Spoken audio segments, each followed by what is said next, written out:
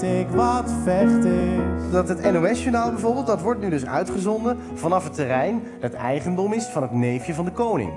Ik heb het opgezocht. Er is eh, één land waar de verhoudingen ook precies zo liggen. En dat is Saoedi-Arabië. Is toch wel geinig? Is al niet zo heel spannend allemaal, hè? Want daar is de A12 en daar de Betuwe-lijn.